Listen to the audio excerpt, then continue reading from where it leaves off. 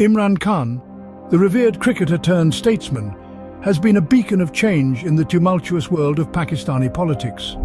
His journey, marked by relentless determination and unyielding resilience, is a testament to his unwavering commitment to his country. Born and raised in Lahore, Khan's political aspirations took a back seat as he first made his mark in the world of cricket. However, his leadership skills were evident even then, as he led Pakistan to its first and only Cricket World Cup victory in 1992. It was this same tenacity and leadership that would later serve him in his political career. In 1996, Khan founded the Pakistan Tehreek-e-Insaf PTI, a political party committed to creating a modern, egalitarian society in Pakistan. Despite initial setbacks, Khan's PTI emerged as a formidable force in the 2018 elections, securing a majority in the National Assembly and paving the way for Khan to become the Prime Minister of Pakistan.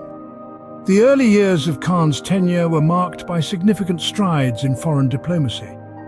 A notable instance was his visit to Saudi Arabia in 2021 to discuss bilateral relations and regional issues.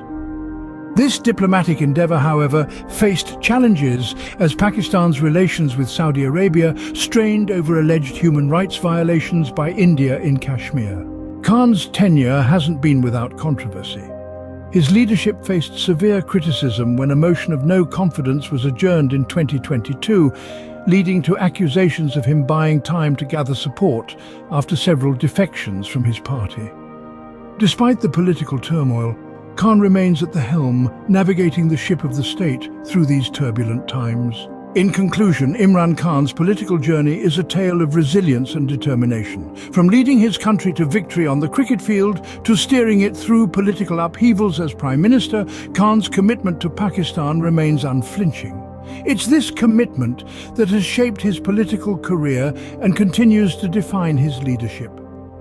His journey serves as a reminder that the path to change is often riddled with challenges, but it's the resolve to overcome these challenges that truly defines a leader. Sir